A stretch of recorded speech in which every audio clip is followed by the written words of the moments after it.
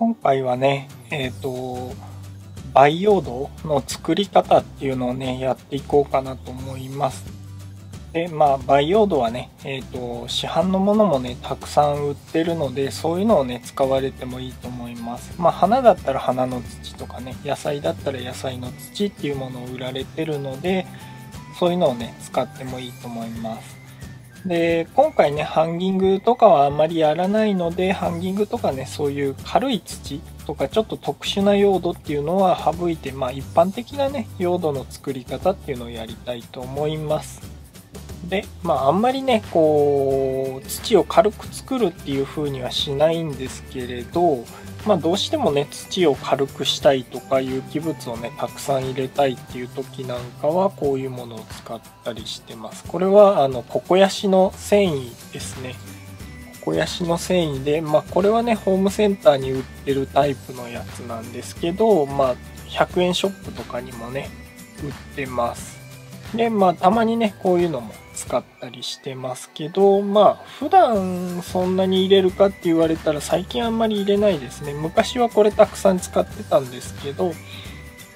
まあ最近ねあんまり使ってないんですけどこれってまあ水をねかけてあげるとどんどん吸収してね膨らんでいく固めてあるタイプのねあのヤシの繊維なので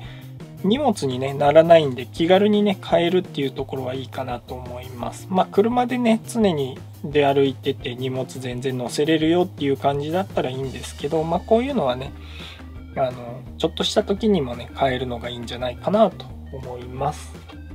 でまあこれっていうのはね未発酵の植物性のねあの有機物っていうことになりますんで土の状態がねやっぱり変わってきますんで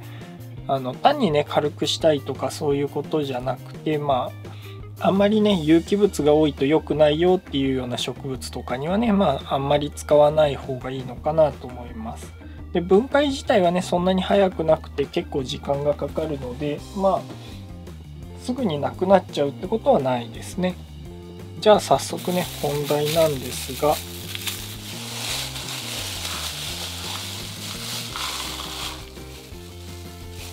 で、まあこれがね、赤玉土ですね。乾燥しちゃってるんでちょっと黄色っぽいですけどね。で、赤玉土なんですけど、うんと、一番ね、手に入りやすいっていうことで、これをね、主にされる方っていうのが多いかなと思います。で、次がね、自分が割とおすすめで最近使ってる用土なんですが、これね、あの赤玉土と比べて真っ黒ですよね。これ黒土なんですよね。黒土の焼き土。なんか商品名は黒土焦土っていうらしいんですけどなんか焦土って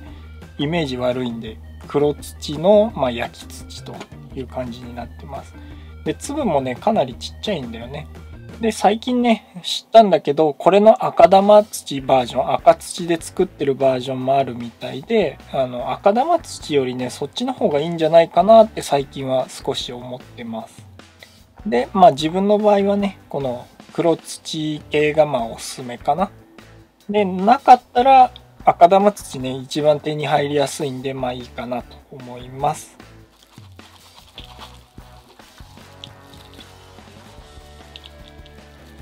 で、そしたらね、次にまあ入れるのが、堆肥の成分になってくるんですけど、これはバーク堆肥っていうものですね。通ね、堆肥っていうと牛糞とかトンプンとか鶏糞とかね、動物の糞をイメージすると思うんですけど、自分はね、あの、糞系の堆肥は使ってないです。こういうね、バーク堆肥っていう、これはま木の皮でできてる堆肥なんですけど、こういうものを使ってます。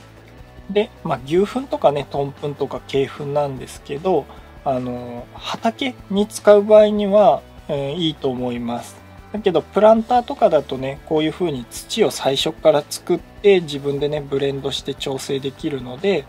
あの糞系の堆肥じゃなくてねバーク堆肥でいいと思います。っていうかこっちの方がねいいんだよね。ただ効きがねすごく弱いマイルドなので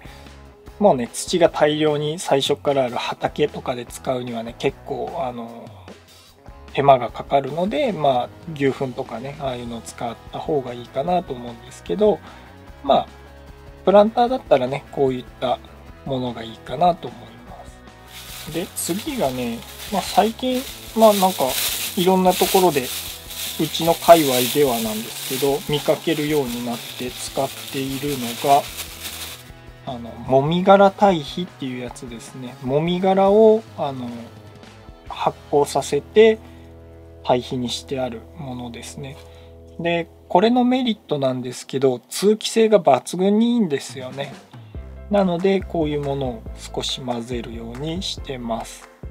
でまあ大体のバランスなんですけどうんまあ土系を1にして堆肥系を1にするか土系を2にしてま堆肥系1にするかぐらいでいいんじゃないかなと思います。あとはね通気性とかを見ながら、うん、まあ何でもいいんですけどね。もみ殻堆肥でもいいしもみ殻でもいいしく炭でもいいし何かね混ぜてあげるといいと思います。でもみ殻堆肥ね手に入らないっていう場合も結構あると思うのでそういう時はねく炭がおすすめです。もみ殻をねあのいぶして炭にしてあるものなんですけどまああの通気性も良くなりますしねあの炭っていうのもね土自体に結構いい成分なのでそういうのもねおすすめですであとねこれに肥料を入れて植えていくんですけど自分の場合はねマガンプっていうのを入れてますでまあ別にね肥料は何でもいいと思いますたくさん使う人はねマガンプとかだと高いのであの普通のやつを買ってきて入れるといいと思います。コード化成肥料とか書いてあるものとかですね。ああいうのを買ってきて入れるといいと思います。で、あとね、微量要素なんですが、えっ、ー、と、苦土石灰を入れるといいかなと思うんですけど、もしね、手に入るんだったら、熔リっていうものが売られてるので、ホームセンターとかだったらあると思うので、熔リンをね、入れてみるといいと思います。まあ、100円ショップとかだとね、あの駆動石灰しか置いてなかったりするので、まあ、駆動石灰でもね、十分いいと思います。ということでね、まあ、こんな感じで自分は最近土を作っています。まあ、赤玉土もうちょっと減らすかなっていう感じはしますけどね。っていう感じで作っています。まあ、これをね、混ぜるとどんな感じの土になるのかっていうことでね、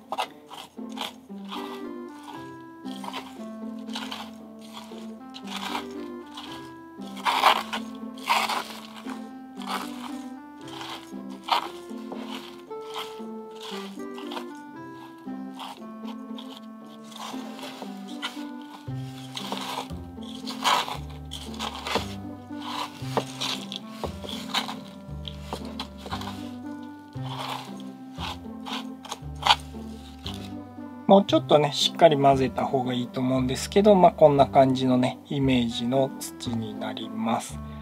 まああの赤玉土ねあのもうちょっと減らして植えてもいいかなと思います。であとね、うん、通気性とか通水性を良くする場合なんですけどあと軽さを求める場合とかなんですけどあとはまあパーライトだったりとかバーミキュライトだったりとかその辺りをね入れてあげるといいと思います。あんまりにもね土がずっしりしてるとねあの大きいプランターとかはね変形しちゃったりすることもあるのでうまいことね軽めの資材っていうのも混ぜてあげるといいのかなと思います。まあ、ということでね今回は簡単な動画だったんですけど前回はね土の再生リサイクルする時の話だったんですけど今回はね一から作る時の話をしてみました。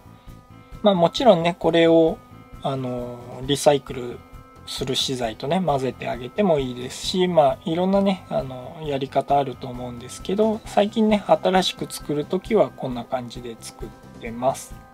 まあ、もしね培養土作られる方いらっしゃいましたらねいろんなやり方あると思うんですけどまあ、最低限ね、あの、水はけだけに注意してもらえばいいのかなと思います。まあいろいろね、あの、保水性だったりとか、通気性だったりいろいろあるんですけど、まあ最悪ね、水たまりになっちゃうような水はけの悪い土にならなければね、まあ一応育つと思いますんで、いろいろ試してみるといいんじゃないかなと思います。ということでね、この動画面白かったとか参考になった、また見たいっていう人はね、グッドボタンとかチャンネル登録もぜひぜひよろしくお願いします。コメントの方もね、いただけると嬉しいので気軽に書いていってください。